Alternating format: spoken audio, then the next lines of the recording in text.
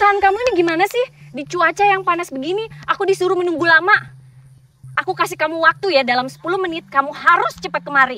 Kalau kamu dalam 10 menit nggak datang ke sini, kamu memohon-mohon pun aku nggak akan mau bekerja sama perusahaan kamu.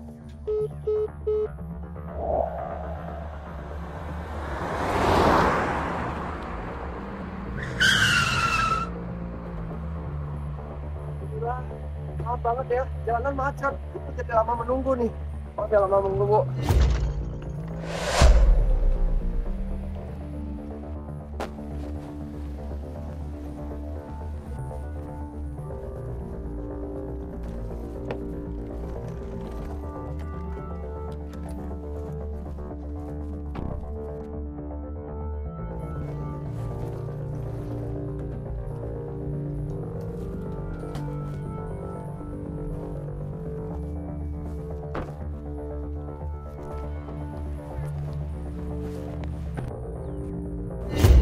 Tolong Pak, tolong Pak, tolong Pak, tolong Pak.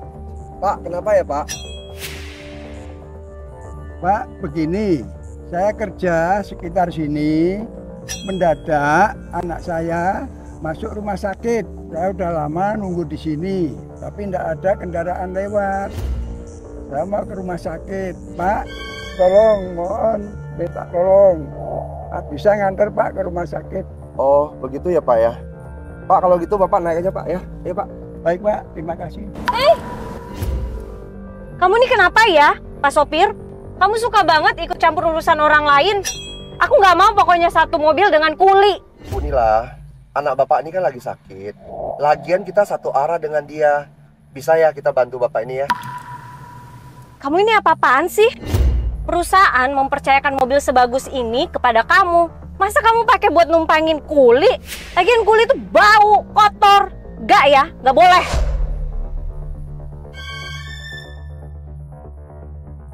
Ayo Pak. Naik Pak, naik. Kamu ini apa-apaan sih? Udah aku bilang aku nggak mau semobil dengan dia. Nggak mau semobil dengan Bapak ini kan?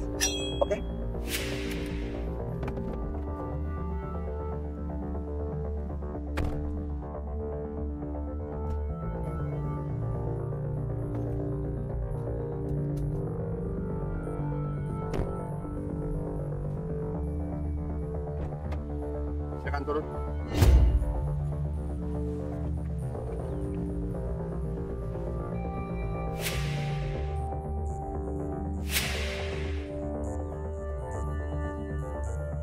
Kamu kan nggak mau satu mobil dengan kuli kan?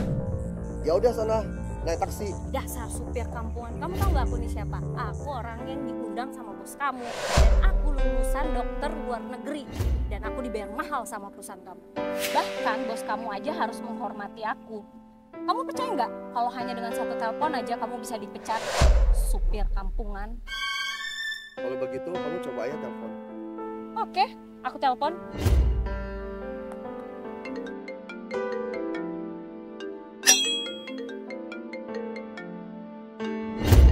Direktur King?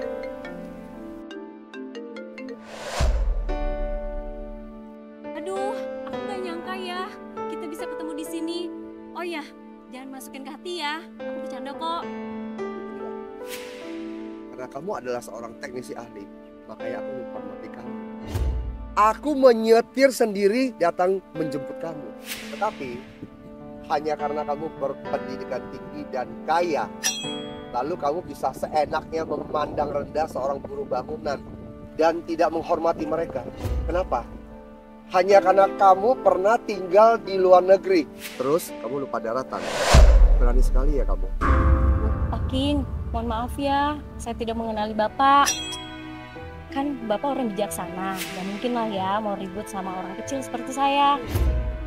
Pak, Pak. Pak, maaf ya soal tadi. Ayo kita sama-sama naik mobil. Bentar. Percuma kalau kamu punya pendidikan tinggi itu percuma sia-sia. Setinggi apa pun pendidikan kamu, kita tetap bukan orang yang sejalan. Karakter kamu buruk. Jadi semua kesepakatan kita batal. Direktur King, saya Aku kasih tahu kamu ya, selama hidupku aku paling sebel dan paling benci orang-orang arogan seperti kamu nih yang memandang rendah orang lain. Aku beri kamu satu nasihat ya. Setinggi apa pun pencapaian, jangan pernah melupakan asal usulmu. Kalau sudah sukses, jangan lupa diharapkan. Direktur King, saya Pak, kita naik mobil pak.